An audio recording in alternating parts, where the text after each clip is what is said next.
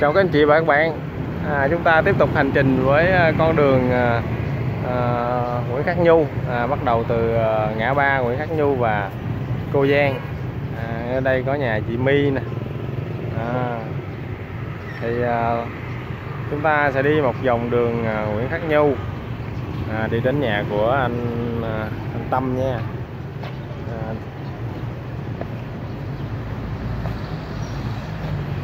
sẵn tiện hôm nay đi à, đi chợ thì à, à, chúng ta cùng nhau lang thang trên cung đường này ha. À, để anh có cái à, dịp nhìn lại cái ngôi nhà ngày xưa à, cũng như con đường mà mình đã từng đi học từ cái trường 30 tháng 4 và ngày nay là cái bãi xe Samco đó ở bên chợ Cô Giang. Thì à, để chúng ta cùng nhau ôn lại kỷ niệm xưa nha. À, nhân đây thì cũng kính chúc à, Ờ, các anh chị và các bạn lúc nào cũng ờ, vui vẻ và hạnh phúc trong cuộc sống. Ờ, à, đặc biệt là gửi ờ, lời chúc đến à, đến khách đó. Lời chúc đến tất cả những người mẹ nhân ngày Mother Day những lời chúc tốt đẹp nhất nha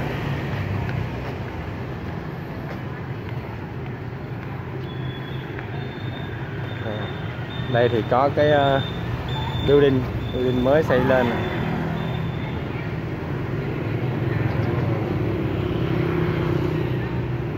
kế bên là trường ờ, đại học Văn Lang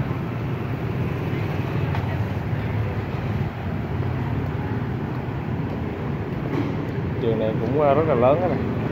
À, so với các trường khác thì không bằng nhưng mà ở cái khu vực trung tâm Sài Gòn thì có cái trường như vậy thì cũng rất là lớn à. Đối diện thì có trường à, à, Lương Thế Vinh À.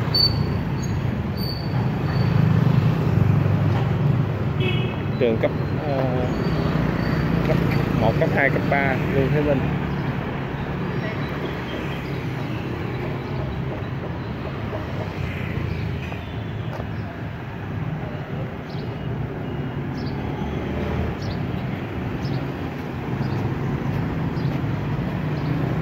chúng ta đi ta nhìn qua nhìn lại giống như là uh, mình đang đi uh, trên con đường xưa vậy đó. Nhìn những cái cảnh vật thay đổi mà chúng ta cảm thấy uh, sao xuyến bồi hồi. À, đây là nhà truyền thống à, sân khấu.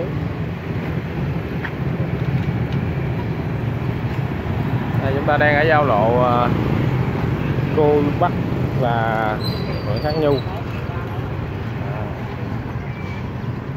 Theo hướng này chúng ta sẽ đi ờ, đi đến đường Hồ Hảo Hớn và đi ra Trần Hưng Đạo. Hướng này thì chúng ta đi thẳng ra Trần Hưng Đạo luôn. À, còn ngược lại thì hướng này Cô Bắc này thì chúng ta sẽ đi về à, cầu ông lãnh à, này đang đi về đường đó rồi thì à, chúng ta sẽ đi về đường này. Để đi ngang nhà của anh ha.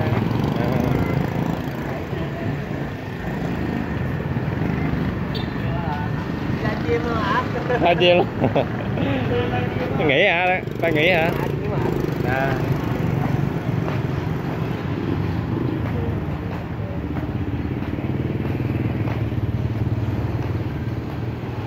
à đây có cái à, nhà xưa này nè. Bây giờ là cái family mart của B mart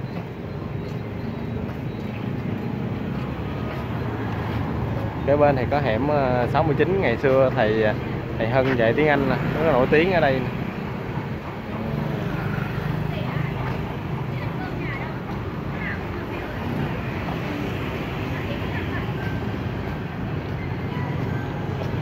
đây là phía sau cái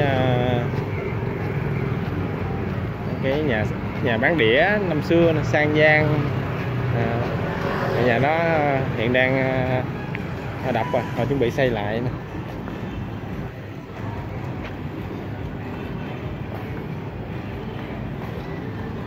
Đây chúng ta bắt gặp hình ảnh của người mẹ nữa đang à, đẩy xe đi, đi bán. Cô này à, em biết là bán ở đường Nguyễn Văn Cừ nè. Cô đẩy xe đi đến đường Nguyễn Văn Cừ để bán bây giờ giờ là hai tay cầm cầm đu đủ cầm bơ nên không có tiện để chúng ta hỏi thăm. Mà mới sáng thì à, đẩy à, tôi mới đẩy hàng ra hỏi thăm thì kỳ lắm. À, nhà này của anh mới xây lại sửa lại nè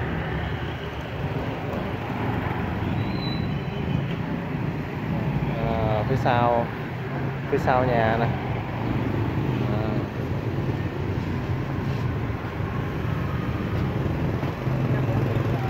ở phía trước thì quán cà phê cà phê à, anh. À, phút sau thì à, à, mới sửa lại à, lên cái gác ở trên ha. À, có một cái gác.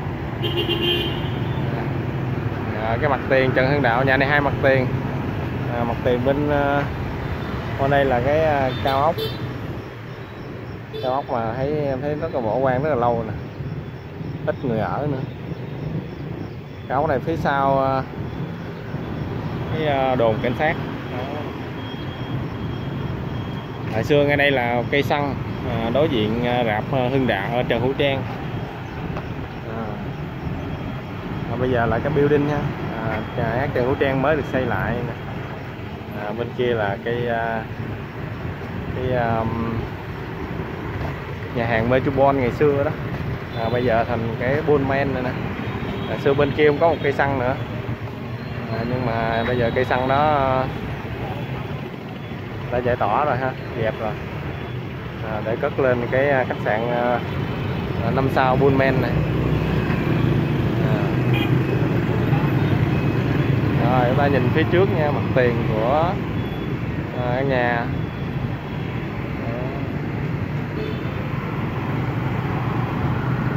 à, ở phía sau thì có cái cây bả đậu rất là lớn. À, theo hướng trận đạo này thì chúng ta sẽ đi về à, quận 5 chợ lớn. À, đây thì à, nhà hát Trần Hữu Trang à,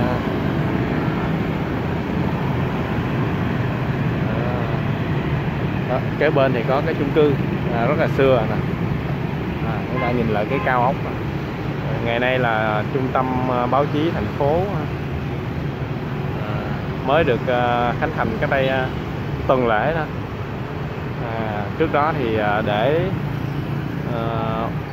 để rất là lâu à, không có ai ở hết đó. trừ khi xây lên luôn á.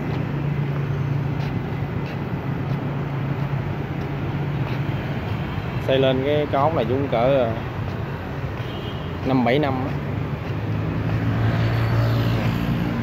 hơn 7 năm. À, còn bên kia thì có cái hẻm Nguyễn Quang Dụng á, hẻm xưa nè. Hẻm thông ra tới à, à, cái đường à, à, Bùi Viện. À, ở đây có cái chung cư rất là xưa này nhìn hình ảnh tư liệu thì vẫn còn nhìn vẫn còn kiến trúc giống như ngày xưa nè. Ở dưới thì có cái trung tâm ờ, Sony Center.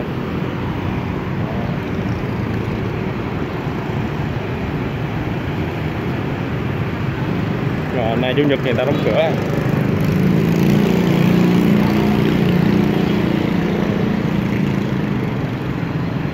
Thì ờ, thẳng hướng này chúng ta sẽ đi đến ờ, chợ Bến Thành cách đây khoảng vài trăm mét thôi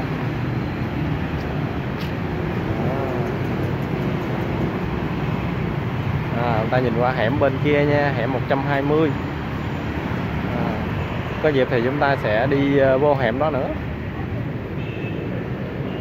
À, cũng sắp đến ngày lễ Phật đản rồi. À, chắc à, vài bữa nữa chúng ta sẽ gặp nhau trong cái video ngày lễ Phật đản như thế nào ha. À, thể theo cầu của à, các anh chị thì à, chúng ta sẽ quay cái à, ngày lễ Phật đản em không phải người theo đạo nên ờ, nhiều khi mấy cái lễ lộc này không không có rành. Này có cụ bà rất là xinh. Rất là đẹp lão ha.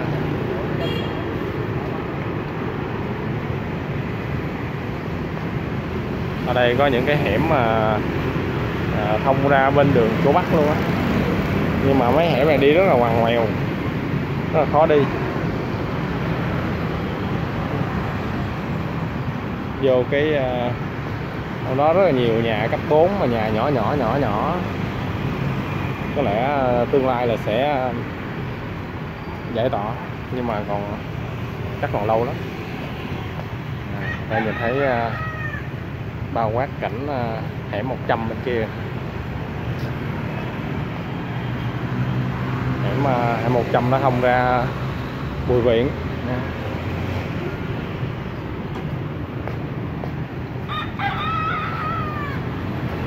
à, em bữa cái à, bên hẻm bên trăm 100 chúng ta nhìn vào đây có cái building này nè. À, tòa nhà ngân hàng nè. cái bên này có hẻm à, hẻm à,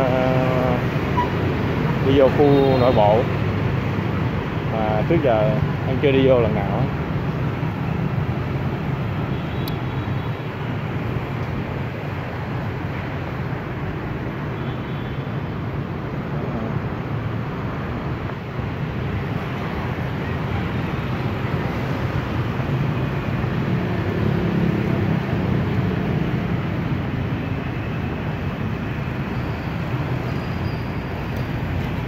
Một số hình ảnh ở đường à, Nguyễn Khắc Nhu và cái à, căn nhà ngay góc đường à, gửi đến anh Tâm. Và các anh chị chúng ta cùng nhau nhìn lại cung đường ngày xưa nha. À, biết đâu khơi gợi chúng ta nhiều cái hình ảnh của ngày xưa à, và cập nhật một số hình ảnh của ngày nay. À, để có dịp chúng ta đi đến đây thì mình không phải bỡ ngỡ ha. À, đây chúng ta đến cái nhà thờ Tinh Lành này nè bữa nay chủ nhật thì à, có cái à, cái lễ. Ừ. rồi bây giờ thì xin chào và hẹn gặp lại. Gặp nhau trong những video tiếp theo nha.